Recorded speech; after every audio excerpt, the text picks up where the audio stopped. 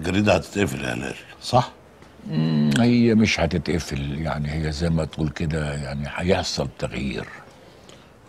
يبقى أكيد هيجيبوا حد من النقابة يقعد مكاني على الكرسي. لا هما مش هيجيبوا حد من النقابة هما هيجيبوا حد من هنا. أنت يا هلال مش كده؟ أنا عمري ما حبيت الكرسي ده عشان ما تصيبنيش لعنته وأحس إن أنا اعلى من البشر واللي يعلى على الناس عمره ما يحس بيهم. عشان كده بكتب لهم الكلام اللي نفسهم يقولوه مش قادرين. تقصد إيه يا إن أنا مش حاسس بالناس؟